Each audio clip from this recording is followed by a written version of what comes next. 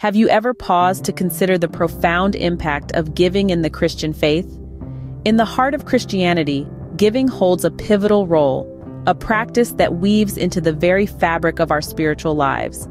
Let's cast our minds to the wisdom within the Holy Scriptures.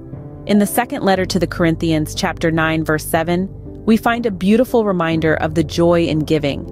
The passage reads, Each of you should give what you have decided in your heart to give, not reluctantly or under compulsion, for God loves a cheerful giver. In the book of Acts, chapter 20, verse 35, we are taught the blessings of generosity through the words of our Lord Jesus himself. He said, It is more blessed to give than to receive. So as we can see, giving is not just a part of our faith, but a crucial practice that shapes our spiritual journey and community.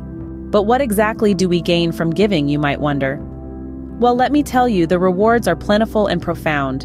When we give, we experience a deep sense of inner joy. It's a feeling that can't be replicated by any material possession. It's the joy of knowing that we are making a difference, that we are helping someone in need. Moreover, giving fosters spiritual growth. As we give, we become more like Christ, who gave selflessly for us all. It's a way of cultivating a generous spirit, a heart that mirrors the heart of God. And let's not forget the strengthening of our church community. When we give, we are participating in a collective effort, a united endeavor to spread God's love. In the wisdom of Proverbs 11:24, 25, one person gives freely yet gains even more. Another withholds unduly but comes to poverty. A generous person will prosper. Whoever refreshes others will be refreshed. Indeed, giving enriches us, it nourishes our spirit, and it fortifies our church community. So, what does this mean for us as members of the Exalted Word Ministries? Well, it's a call to action, a call to a more generous life.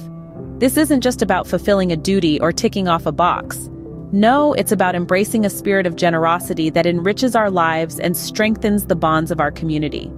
We're reminded of a passage in the first letter to Timothy chapter 6, verse 18. Command them to do good, to be rich in good deeds, and to be generous and willing to share.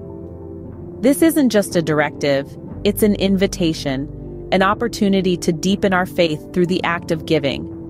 Let's remember, generosity isn't just about money, it's about time, talents, and heart. It's about being there for each other, about lifting each other up. As we give, we grow, we bless, and we build. That is the transformative power of giving in our Christian faith.